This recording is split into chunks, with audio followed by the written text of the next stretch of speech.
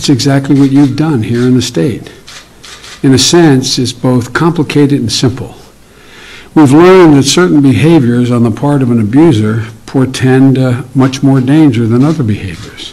For example, if an abuser has attempted to strangle his victim, if he's threatened to shoot her, if he sexually assaulted her, and there's a number of other signs, about eight others, these are telltale signs to say this isn't your garden variety slap across the face, which is totally unacceptable in and of itself.